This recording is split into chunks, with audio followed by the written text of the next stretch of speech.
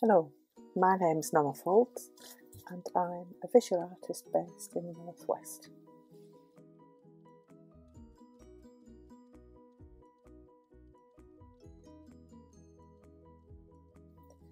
So first of all I want to start with some of the materials that we're going to use. Um, I've got some um, polyboard. I've got a square of polyboard that I've bought but if you don't have that and you don't want to go to the expense of buying it, you could use um, one of these um, food trays, leftover food trays, um, which I've cleaned, or the bottom of a pizza base is a good one. Um, it works just as well, and um, you might find that you've got one of these at home. So the polyboard is nice and flat, smooth, and ready for us to go. You just need to cut the food container um, so that you've got the edges and, the, and you're left with a flat base. Um, some of the other, other things that I've got here are my rollers. These are um, some rollers that I've bought and ready for the job. Um, but this one is a ordinary painters decorators um, roller which will work just as well. So you don't have to buy any new equipment. Um, I've got some um, printing ink, um, but you could use acrylic paint, um, some pens, some pencils, some tape, and you're probably ready to go.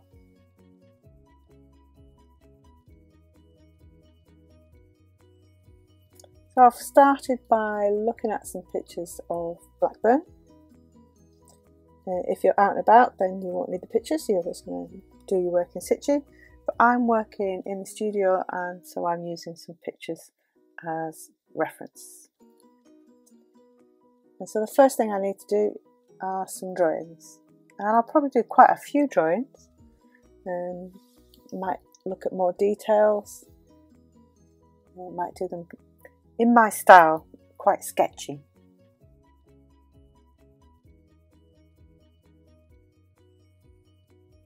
You can draw straight onto your polyboard.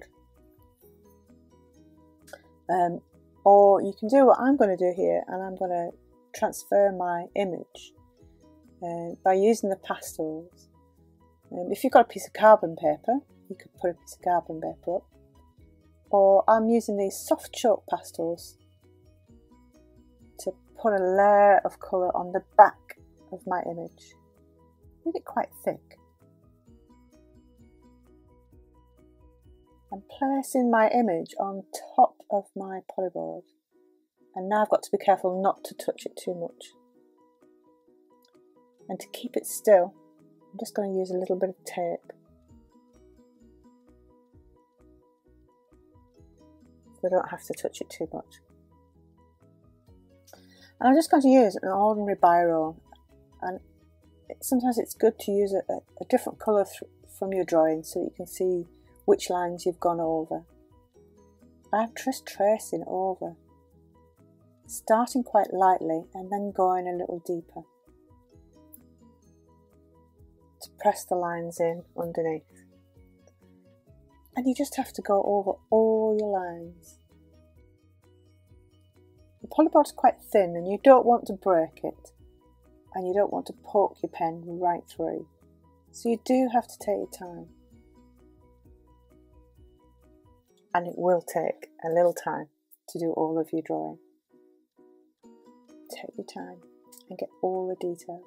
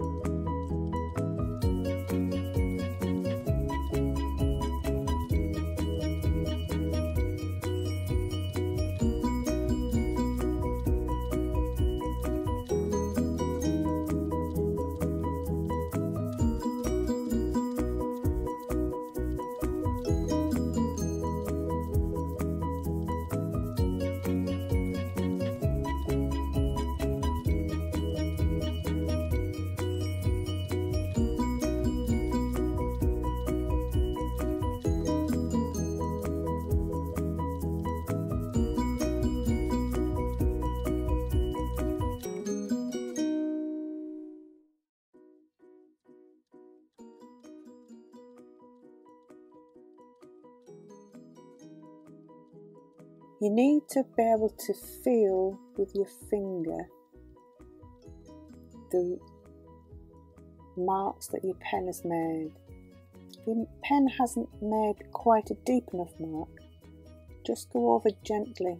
It's better to go over a line gently three times than to go really deep just the first line.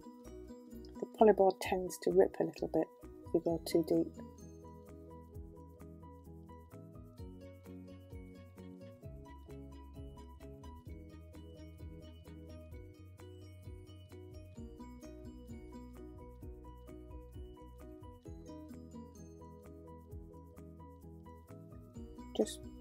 In all those lines, making sure they join up now you can see on the polyboard.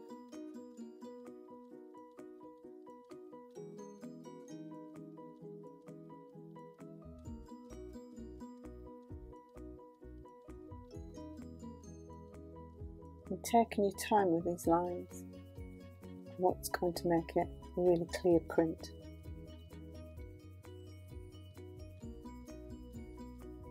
And these are relief prints. So we start off with a flat surface. We add the lines and then we put ink on the top surface.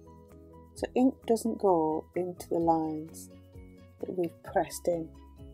They all stay white or whatever colour your background paper is. Just be careful not to go all the way through to the other side.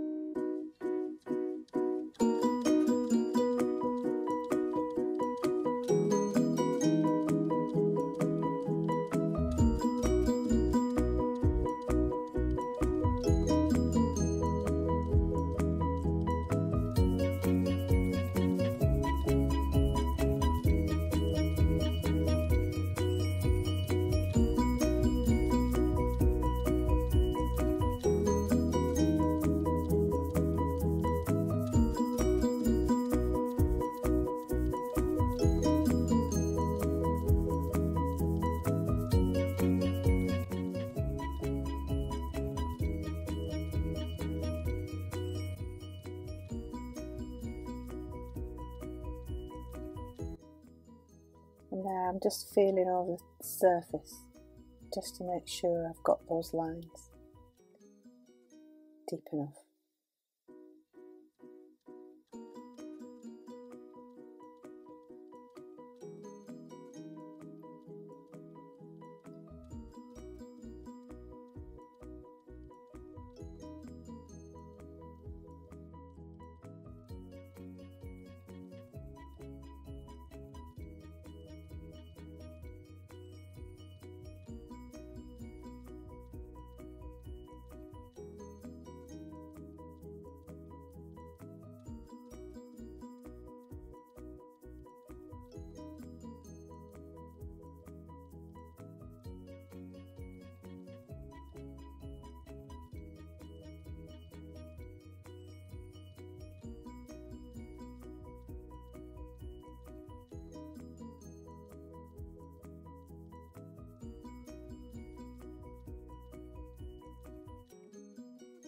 Happy?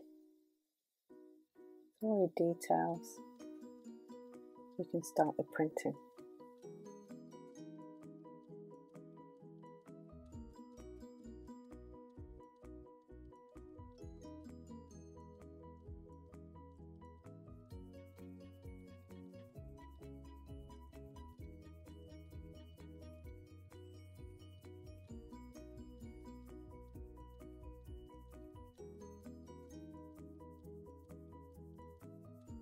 So I'm going to use some printing ink.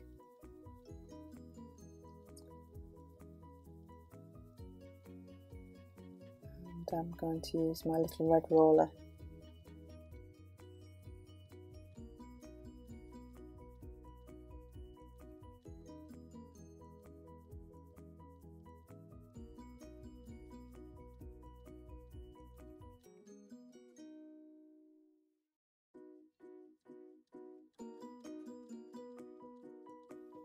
too much ink. Better to start with a small amount and go back and put some more on than to have a big splodge.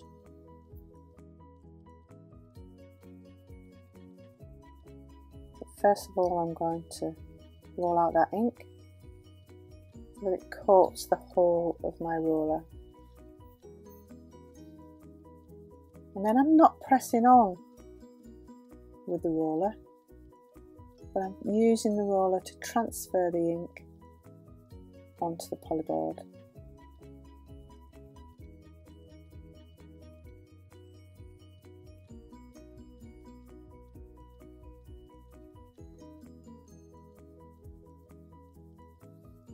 You don't want a big blob of ink in any one place, but you do need to have a good even covering all over.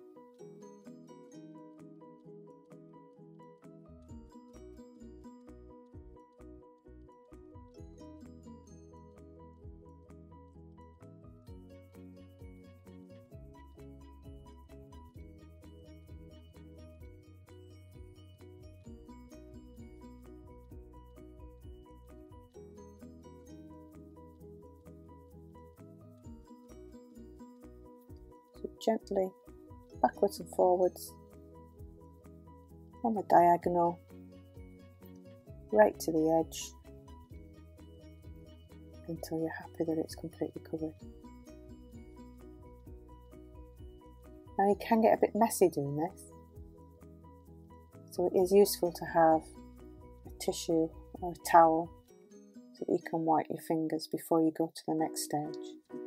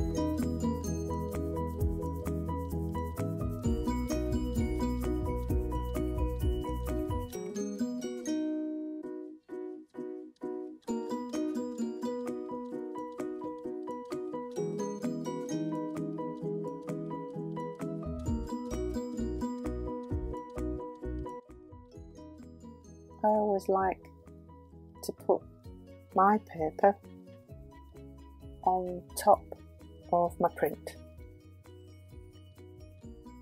Try and position it in the middle and use the heel of the hand to press down on the paper. Give it a quarter turn, press down again quarter turn, press down again.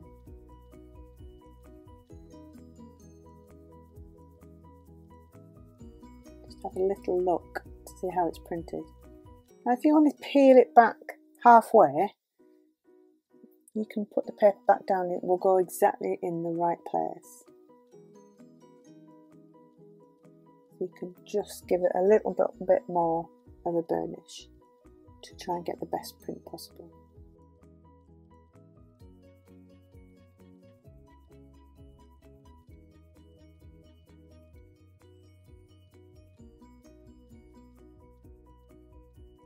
And this time I'm going to have a look Well, I don't think I've put quite enough ink on, but I'm quite pleased.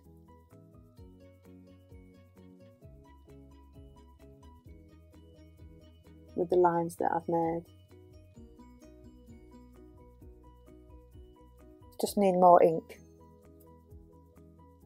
but that's okay. I'm going to put a little bit more ink on and make a second print.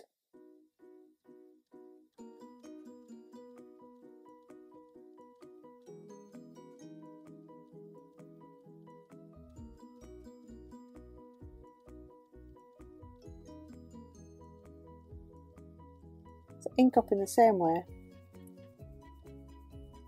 making sure that you cover the whole of the plate. Backwards and forwards. Make sure you get the edges.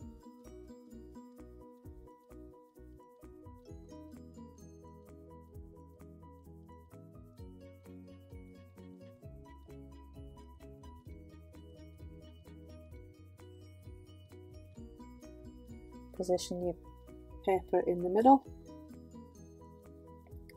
and flatten down. It's a bit better.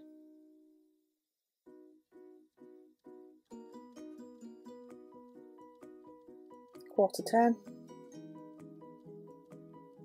and press down again.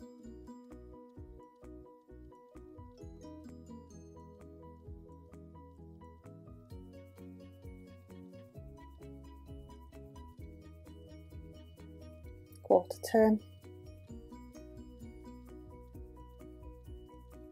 Press down.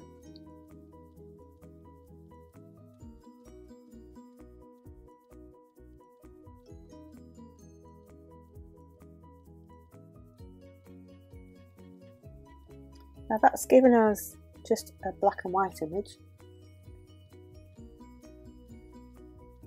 But if you wanted to, you could add some colour. Instead of just using the roller, you can apply some paint with a brush.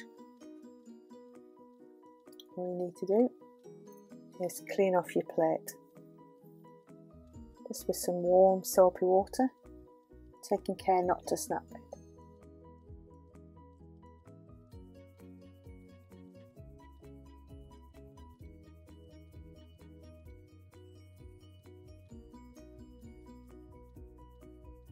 And then I'm using some acrylic paint. So I'm just going to get my colours ready.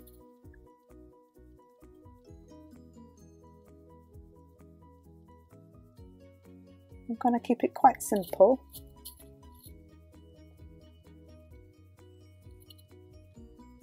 Some blue for the sky.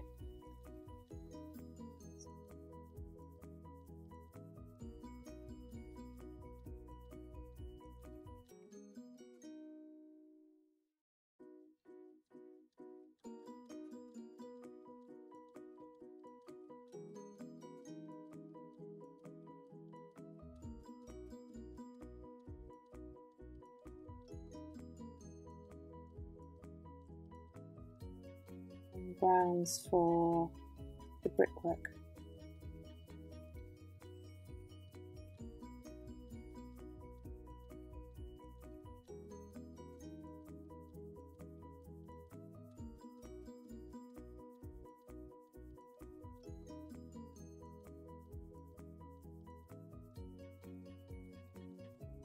So you want to work quite quickly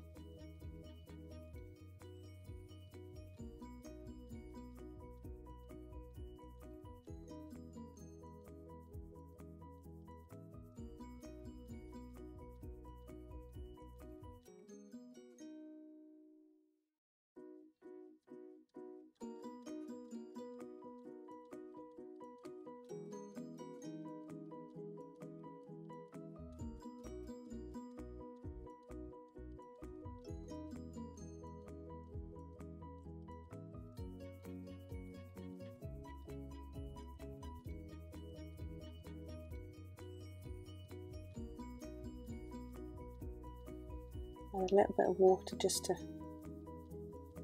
make it flow better.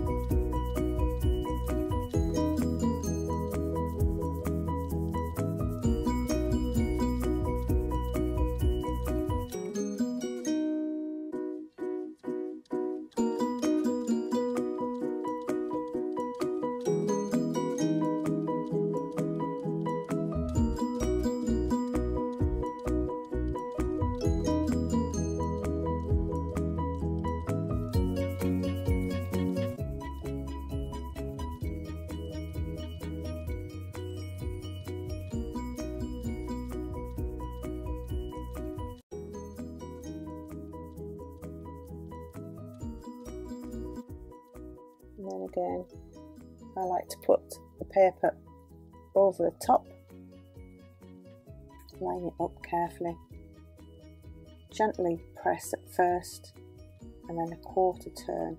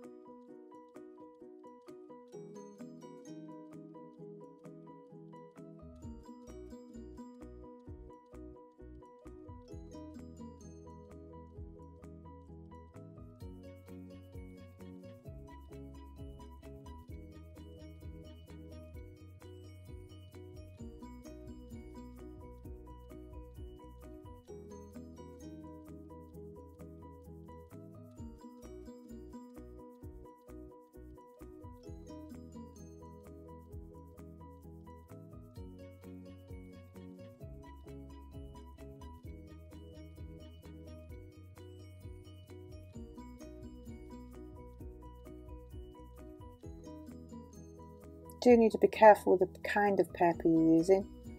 This paper I'm using today is quite thin and sometimes the acrylic paint does stick a little bit.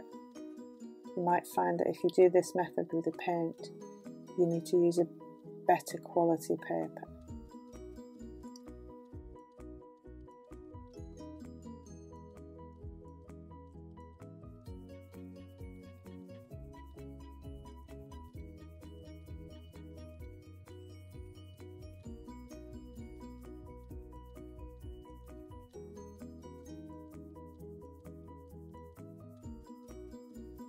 Have fun, have a go. Thanks for watching.